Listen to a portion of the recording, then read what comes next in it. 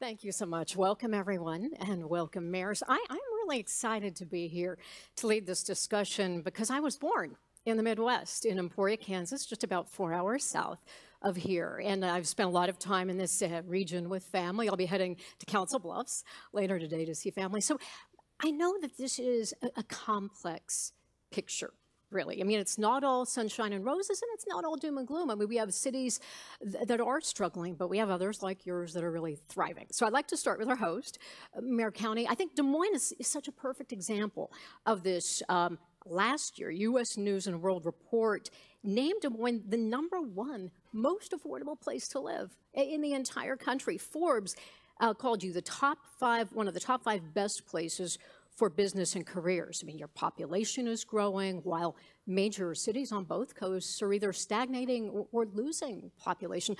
What is the secret? I mean, is it the affordability factor or, or is it, say, um, Iowa's low unemployment? I mean, just 2.9 percent.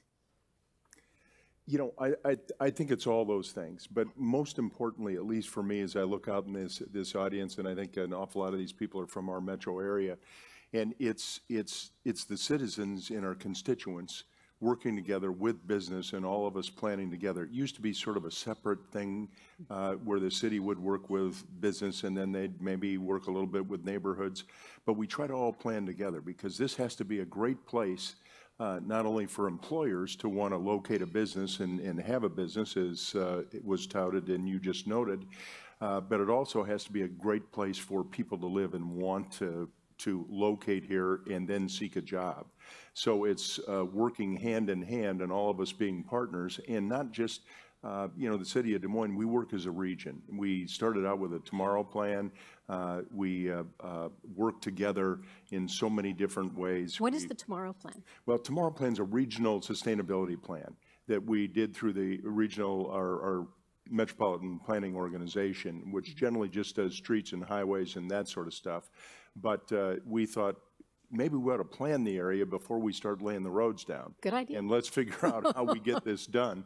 And uh, I think uh, through that collaboration and through organizations, uh, you know, like Bravo and uh, um, like the CVB, we uh, uh, fund those. There's a, there's I don't know what these there's are. a hotel motel okay. tax in the Convention and Visitors Bureau. so some people are really surprised to hear that two sevenths of a 7% tax goes to the Convention Visitors Bureau to help attract uh, opportunities in industry to Des Moines, uh, and Bravo is a culture and arts kind of a, of a thing, and two, two sevenths goes to that. And people say, really? People are willing to pay that kind of a tax and put it over to that rather than to some of the other things. But I think it's the quality of life uh, that people look for as they're locating a business and as they're looking, uh, individuals looking for a place to live. And I think Des Moines has, has done that. I mean, 20 years ago, we wish we were in the top 50 of some of those lists that you're talking about. And to be heralded as one of the number one places in the country for a wide variety of reasons, you left a few out, by the way. Um, I know, well, I didn't have time. I mean, we have to let these gentlemen speak too, right? But uh, it's just uh, unbelievable. I mean, uh, 15 years ago, we probably had 1,800 people living in downtown Des Moines. Today, we've got about 17,000 living wow. in downtown Des Moines with a, a daily employment of around 80,000 and uh, uh, some great restaurants and millennials and empty nesters all living and, and looking for an opportunity to and find a place to live downtown where they can walk, they can take public transportation, they can find great uh, uh, places to eat. Uh, and I think some of those is the heart of Iowa in the heart of, of our metro area is very, very attractive uh, to an awful lot of people. You know, Mayor Pete, um, your city is a little bit smaller than, than Des Moines. Uh, you became mayor um, in 2012 at the age of 29, mm-hmm. correct? The, the youngest mayor in the United States of a city of, of just over 100,000. Now, since then, South Bend's population has been on the upswing. I mean, there was a time, right, when we talk about lists, what it had been named by Newsweek as Dying city. A dying city, which is terrible. and now you have won awards and kudos for your leadership. You have said that uh, the size of your town, being small, kind of makes you more nimble. You're, it's easier to experiment. Talk to us about what you've done and, and what's been working. Yeah, we think we're in a real sweet spot. So, uh, and I think this is true of a lot of uh, cities in the Midwest, somewhere between you know 50 and let's say 400,000 in the metro area as a whole. That you're you're big enough that you encounter complexity. That if you can solve a problem there, it matters. Uh, we're big enough that we at least taste every city opportunity and issue from public transit to gang violence. Uh, but you're also small, small enough that you can uh, be nimble, that you can work around these issues. Uh, and so uh, for us, we've, we've positioned ourselves as a beta city. In other words, if you have a new technology, a new policy idea, a new social innovation, we're the kind of place you would want to try that out. And it's worked tremendously to our benefit. Everything from my only a mayor could love this boast, but we have the, the smartest wastewater system in the world, in my view. Um, partly because we were the right place to deploy a technology using sensors that is now saving us hundreds of millions of dollars on Clean Water Act compliance. And a little company sprouted up out of that that's a tech company creating jobs, selling the same technology to other cities around the world.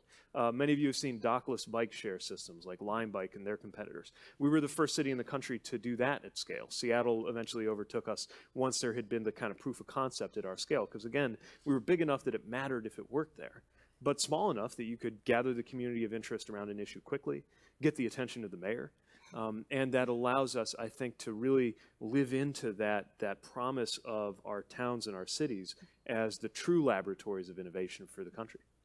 You know, Mayor Carter, St. Paul's once declining population is also on the rise. And I know you've been in office just what seven months, but you. Um, So I'm I- responsible for the rise. absolutely amazing. How did you do that? Yes.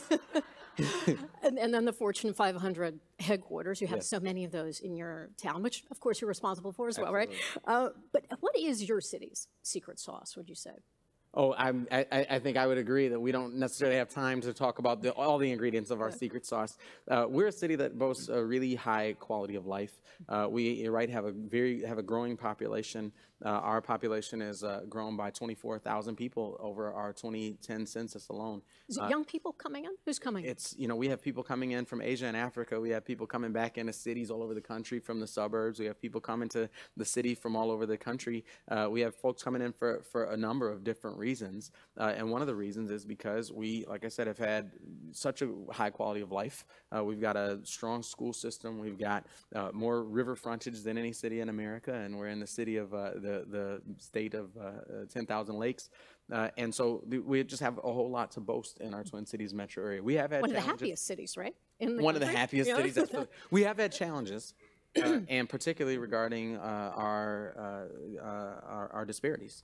We have uh, large and growing communities of color. We have large and growing immigrant and refugee communities, uh, and ensuring uh, that all of our communities uh, are able to tap into and take advantage of uh, and enjoy that prosperity that our greater city has to offer. mean, you're working is on one of our housing a biggest lot, challenges. correct? We're working on a, a number of things right now. Uh, I just proposed a $71 million uh, investment in affordable housing over the next three years. Uh, I just proposed doubling our uh, street reconstruction budget uh, from last year to uh, into the future uh, and providing our first uh, dedicated funding for bike lanes uh, and a number of other things that we're proposing right now. We just eliminated late fees in our library a couple weeks ago, so we're really excited. As an author, that. I love that idea. Love that idea. You know, there's 51,000, there's 51,000 library cards in St. Paul de- deactivated right now for late fees, of average of $33 in late fees going back to 2009. It was a real hard decision until I realized we actually want kids to read. Of course. Read books, not just right. on tablet. That's right. That's right.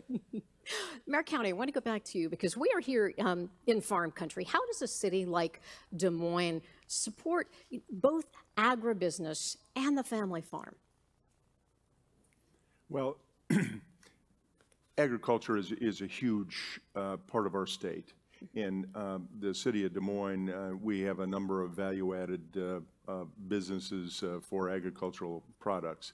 And uh, I think that, that uh, in an awful lot of our population, uh, you know, either the, themselves or their progenitors all came off of the farms.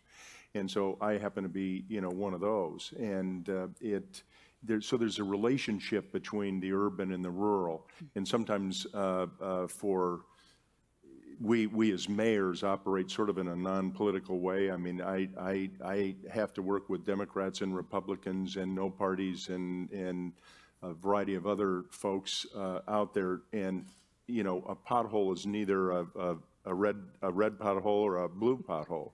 So we have to figure out how to deal with every single person every single day. And unfortunately, sometimes, uh, you know, there are those that, that really are all political that start pitting one group against another, and, and so they'll say, you know, rural against urban.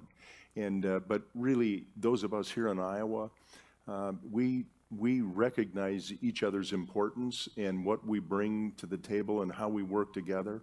And like you said, you're so interconnected, right? Yeah, exactly. And, uh, um, you know, I got to tell you, as we work on water issues, we work on all kinds of other issues. I got to tell you, everybody, rural, uh, suburban, urban, we all care about clean water. We all care about the, the future of agriculture and where food comes from and, and what the prospects are of doing that for future generations. And I think that we all are invested in that and we all need to work together. And uh, uh, we need to overcome some of the divide that uh, sometimes political structure um, um, puts in front of us. And uh, I think that uh, mayors and local government are probably key areas that we can make that happen because, like I say, we, uh, we deal with all parties every day, 24 hours a day. Mayor Pete, I was wondering, um, what role have the, has the presence of major research universities um, like Notre Dame, just just north of South Bend, what role has that played in, in your city's success? Oh, it's crucial. I mean, uh, I would argue that if, if a mayor has a magic wand and can put one thing in her city, it could be an NFL team, a waterfall, uh, you should pick a major research university um, because the uh, intellectual uh, uh, property that comes out of that, the, the energy, the activity. But it only works if you recognize that uh, a university is not like uh, any other entity. So you have to understand it's not the same as if you have a military base or, or, or a hospital or a major corporation.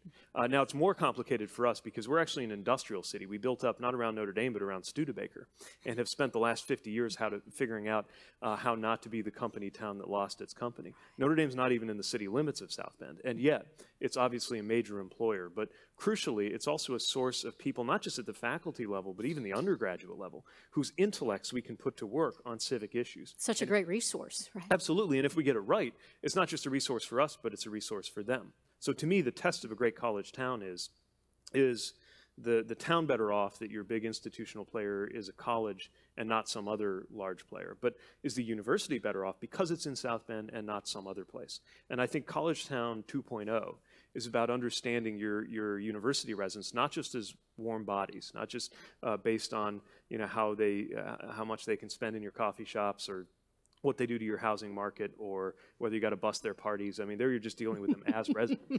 What interests me is, uh, you know, if, uh, for example, we have uh, a project called the Bowman Creek Educational Ecosystem. It's the most, uh, one of the most economically challenged square miles in our city. Um, a city, by the way, which you might not realize being in Notre Dame's backyard, still has per capita income below $20,000 overall. So we've got some serious economic challenges. We also have an environmental challenge around this underground river. Uh, now, in the process of remediating it, we're engaging students from the civil engineering department, as well as uh, anthropologists who are studying what's going on in the neighborhood, and crucially working with uh, the, the neighbors in something that is being done with them, not to them. And I believe that will not only make the neighborhood better off, but when these young students, engineering students, for example, are interviewing for jobs, and they know how to engage a tough customer at a neighborhood meeting, how much more convincing are they as somebody you might be wanting to put in front of a client? So we're better off, but they're better off too. Exciting. Mayor Carter, what do mayors like you do to encourage these innovative um, technology companies to to come to your cities and and to compete in the heartland? What is your message for the the Googles, the Apples, the the Amazons who tend to you know locate their headquarters on one coast or the other? And though though we know you know with with uh, Amazon, they're looking at cities like Columbus for the next the second headquarters. Sure. We're well, like I said earlier, for folks who are interested in water, we've got lots of water between our river and our lakes. uh, and we like to show, you know, when, when people look at St. Paul, they see opportunity. Uh, and so I think some of us in, I, I, I think Mayor Pete put it well, you know, and sometimes I think Midwestern cities, we have to work harder to get their attention. But when they look, they see opportunity.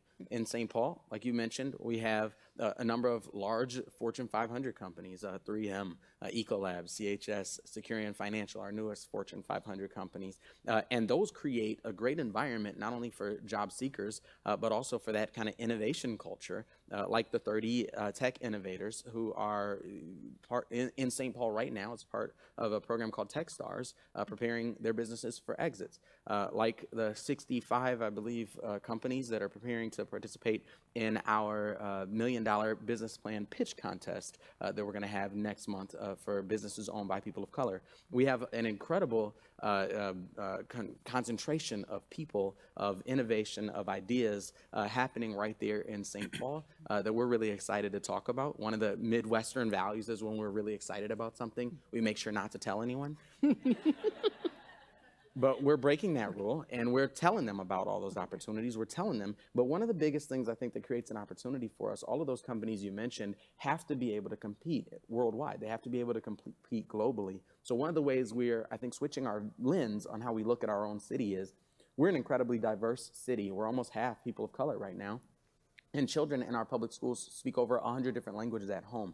We forever have looked at that as a challenge for us. You know, it's hard to close the gaps. It's hard to teach children English as a second language. We're switching our lens on that and saying, wait a minute, this kind of diversity, this kind of multilingualism uh, is our is the key to our the door to opening that door to a uh, global the type of global economy that ought to exist in a place like St. Paul. Are they listening? Those they companies? Are. They are. they are. Mayor Cownie, I want to go to you to, to talk about the, the economy and uh, with in Iowa, the, the unemployment being so, so low. I mean, we're, we're hearing that there are sometimes more jobs uh, than you have workers for. Uh, you know, you, this, this full unemployment can be sometimes actually a bit of a challenge. Who benefits when, when this happens? Is it is it the big corporations? Is it small businesses? Or are you seeing it lift up the, the average Iowan who, who wants to join the middle class? Uh, good question, but it, it, it's a bit of a challenge at the moment, you know, with the low unemployment and, uh, uh, for instance, Des Moines is the third largest insurance center in the world.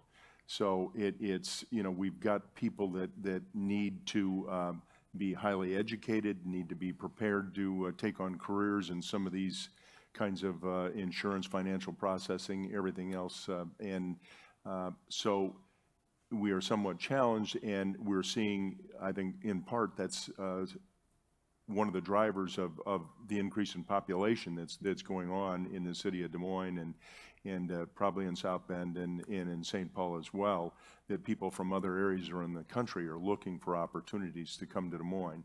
Uh, but I do believe that overall it's, it's beginning to, to lift up, but we still have to, um, we're challenged uh, in the city of Des Moines with uh, an awful lot of uh, the diversity that uh, some of the other cities are, are facing. I mean, we, we've got um, over 100 different languages spoken in our, our, our, schools. And so you have to prepare those young people for careers and a life in, in and around uh, the city of Des Moines. And uh, while it's a bit of a challenge, we also celebrate it. It's, a, it's an opportunity. This is, uh, Des Moines is like a melting pot, uh, you know, um, of, of the world right here. I mean, we've got one high school where there is no uh, um, population that exceeds like 25%. Uh, and uh, it, it's, it's amazing to watch. Uh, you know, the Asian population, the African population, the, uh, uh, the Latinos, uh, it's, it's people from all over the world are finding Iowa and the Midwest a great place to, to come. and quickly to, to look at some of our assets. Iowa has water too, sometimes too much. Uh, yeah. And uh, but it, it, the, at the same time, uh, we're attracting some of those high-tech companies. I mean, we have seen recently, and again, this is a challenge for more highly trained people, but we've seen Facebook, we've seen uh, uh, Microsoft, we've seen Apple locate multi-billion dollar operations in and around the Metro Des Moines area. And uh, part of it has to do, in addition to everything else, that uh, they're not on the coasts. that uh, they're, they're not challenged with uh, hurricanes and that sort of thing. Uh, And uh, the cost of water is inexpensive, and the cost of power is inexpensive, and I will um, generally don't, you know, tout uh, what's going on, but Amer- MidAmerican Energy, eight, 10 years ago, was 2% renewable uh, energy. Today, they're 50.8%, and they, uh, renewable, and they have pledged to uh, essentially go 100% renewable by 2020. That's unbelievable, and it guarantees costs of, of those utilities that help run some of these businesses, and they being at the moment about the uh, low, I think they're ninth, eighth or ninth lowest cost of utilities uh, in, in the country. So it's, Very uh, impressive, very attractive, obviously. Mayor Pete, we're, we're going to go to questions shortly. I want to just ask a very quick political question. There were people who wondered when you ran for mayor why you weren't running for Congress recently. So the thing about Congress, Oh, with all respect for the people who are there, um, is that when, when you're a mayor, you're, you're doing things. I'm shaping, helping to shape the city that I grew up in. I know there's this, this old model where it's sort of the, it's like it's like going from the minor leagues to the major leagues, and everybody assumed that uh, the federal level is the most kind of desirable level. And I just, uh, I mean, Not true. You've seen Congress. so, you know, I think at the local level, you have this opportunity, and I think local leadership is a big part of the answer to how the Midwest has been able to produce a lot of great things in the last decade. so you're going to stay as a mayor? Well, No, no plans? to- I'm not going to make any Uh, news okay, today, right. uh, uh, other than to say that, uh, you, you know, I think it's, it's so compelling to see what can be done at the local level, and I'm glad we're living in this moment when people have a higher regard uh, for what's happening in our cities and what's happening in our towns. And I really hope that our state and federal leaders will realize that a big part of how they can do their job best is to allow us to do our job more freely. And Mayor Carter? But before we go to the audience for questions, I'd like you to just do a quick myth bust for us. What is one myth about the Heartland that you would like to bust right here? That's interesting. You know, I was telling a group of folks out in D.C. last week that whatever you think about St. Paul, uh, it's probably different than what uh, what you expect. You know, as I hear the mayors talk about the challenges that they face, but also the opportunities that we all have as a community uh, between the international communities, between the multilingualism, uh, between all the innovation that happens here. You know, I think there's an oppor- I think there's an enormous amount of opportunities. I don't know that uh, what I see. I, I think the biggest myth I hear is people act like it's real cold in the Midwest, and I, I, And it's not. and it's yeah, it's it's fine. but I think what what what we encounter is people who just haven't taken a look at Minnesota, haven't taken a look at the heartland. Uh, to see what opportunities are there, and like I said, when they do take a look uh, and they bring their coats and their hats and their scarves And their uh, gloves, and their and their boots. and their boots, and they find out that there's nothing but incredible opportunity. Exciting. All right, let's go to the audience because I know you have questions. All right, here's the microphone, and here's the lady right here with, all right, gentleman there with the question. Uh, Eric Idehan, work for Wells Fargo as Community Development Officer. Uh, my question is regarding immigrants. Um, to the mayors, uh, some are about 50% in terms of population of immigrants. Uh, one thing I know, having lived in Des Moines for almost 20 years, is that uh, the younger generations, they leave after college to bigger cities. And then when they start raising families, they move back to Des Moines. However, among the immigrant community, when they leave, they don't come back. So how were you able to retain your numbers to make it that diverse? Hmm. Talking to the man from Minnesota. Well, I appreciate the question, and I think it's a really important question because one of the things that I think we can do a lot better, particularly in St. Paul, is say, how do we uh, not just sort of include the immigrants and refugees who are in our city? How do we not just include them in our schools and include them in our neighborhoods and include them in our workforce, but how do we allow them to really touch our community and be a part of building the, not just we're including you in ours, but we are making ours together. And that's, I think, that's something that's, that's, that's absolutely critical. Uh, right now, especially, people in our immigrant and refugee communities feel threatened. And so we have to work with them to make sure that they know uh, that they that we see them as part of our community and that there's no separating that. Uh, there's no separating our, our, our, our local families. Uh, and, but that also means saying, how do we go even beyond that? And so, you know, right now in St. Paul, you know, we're, one of the things that we're doing right now is focusing on what we call our cultural districts. Uh, and to say we have cultural districts where we have uh, concentrations of African-owned businesses, of, of, of Latino-owned businesses, of Asian-owned businesses, of African-American-owned businesses, and we're going to invest in those places because they're, they're places where people are working incredibly hard, they're doing incredible things, they're building their businesses, and they're providing jobs. We can create jobs, we can create infrastructure, we can create economic opportunities in the neighborhoods that we need them most by switching that lens I was talking earlier, uh, talking about earlier, and seeing that diversity, that multilingualism as one of our greatest assets. Thank you. All right, I believe we have a question right here. Hi, Deborah Salowitz, Strategic Relocation Solutions. Um, this may require a little bit of a crystal ball, but maybe not, considering how much compelling scientific evidence is out there now that what the Midwest is being called often is the Goldilocks zone for climate change. And we're going to start seeing population relocation to the center of the country as a response to what's happening on the coasts, particularly on the East Coast and the Southeast Coast.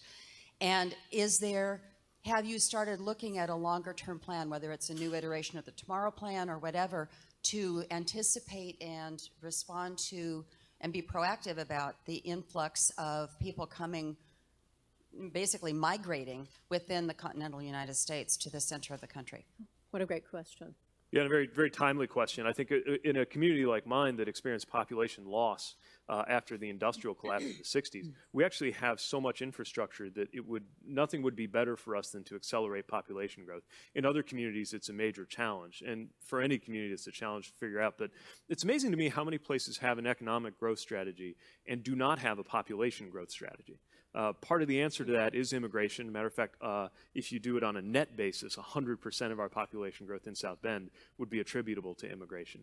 Uh, but I think thinking about the, the impact of climate, and we may not see it in a way that's obvious. So we might think what we're seeing is people moving because of cost reasons. Uh, but actually, if you peel back the onion a little bit, you realize that climate is one of the drivers of what's happening uh, in terms of uh, the availability of affordable places to be in some of our coastal cities. That being being said, uh, you know, we're also on the business end of climate change. In South Bend, we had a uh, thousand year rainfall, and 18 months later, we had what they told me was a, either a 500 or a 2,500 year river flood, depending how you count it. Uh, so either I'm running ridiculous odds right now in terms of what can happen in one mayor's tenure, or uh, things are changing, and things are changing in a way that we've got to cope with as well. And uh, there is just not a national strategy um, or even a regional strategy on climate security. Uh, we're still debating 20th century kinds of security, like border security, which still exists and is still a concern. But when it comes to election security, when it comes to cyber security, and certainly when it comes to climate security, uh, we are at least a decade behind. Right. Mayor Cownie. Let me just throw a couple things. For those of us that, that, were in Iowa and remember June 30, we had events almost like that. Mm -hmm. Uh, what we are trying to do in the city of Des Moines, uh, in, in, in addition to everything else in, in our planning and, and as we look at, at our uh, regional uh, tomorrow plan, uh, looking at the future, we're not only looking at, at, what infrastructure we have to put in place to handle some of these events. I can't imagine what the infrastructure would look like to handle 10 inches of rain in three hours.